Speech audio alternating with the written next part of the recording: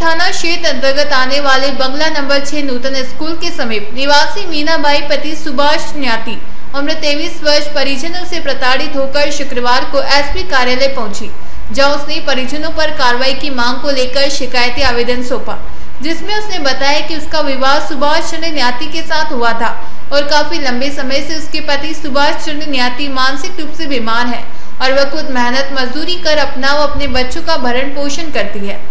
ऐसे में संयुक्त परिवार में रहने के बाद मेरे जेठ व सास द्वारा मकान में पति का हिस्सा नहीं दिया जा रहा और जेठ द्वारा आए दिन मुझे प्रताड़ित किया जाता है।